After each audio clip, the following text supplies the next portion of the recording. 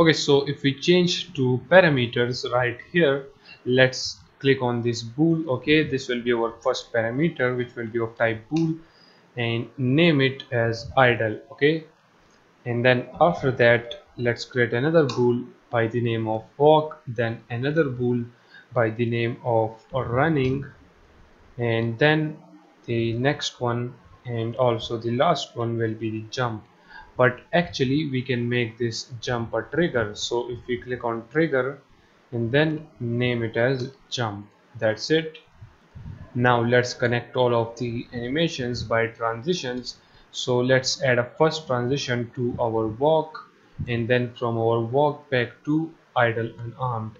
And if we click on this transition right here just simply remove this has exit time 0 and right here make the walk true.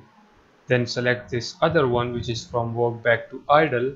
Right here remove has exit time 0 and then make the walk false and also make the running false as well. Because we will get back to the idle when the walking and running is set to false okay? If either walk or running is true then we don't want to go back to the idle okay after this let's make a transition from idle to run and then from run to idle.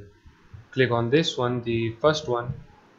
Right here remove has exit time 0 and this time make running true. Then select the other one remove has exit time 0 and right here make running false.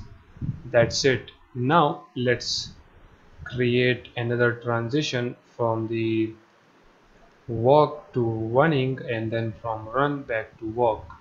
Select the first one remove has exit time 0 and right here make running true.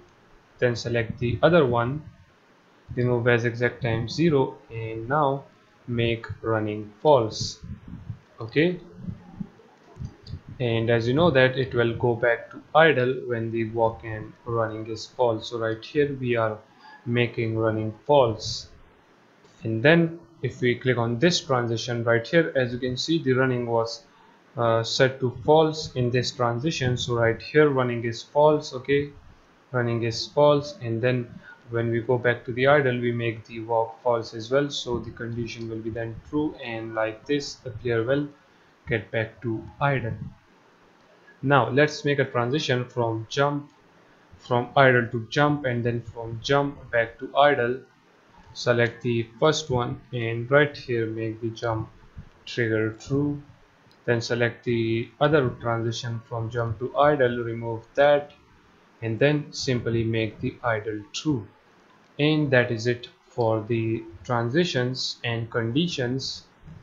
Okay now if we select the first one it is already set to loop time. Now let's select the walk and make sure that it is also on the loop time. Click apply okay then select the run make it to loop time click apply. And as you can see now it is in loop time. And the jump will be the same. Now we have the transitions and parameters conditions added. Now in the next video we will apply this all by using script to our player. So for that catch you guys in the next one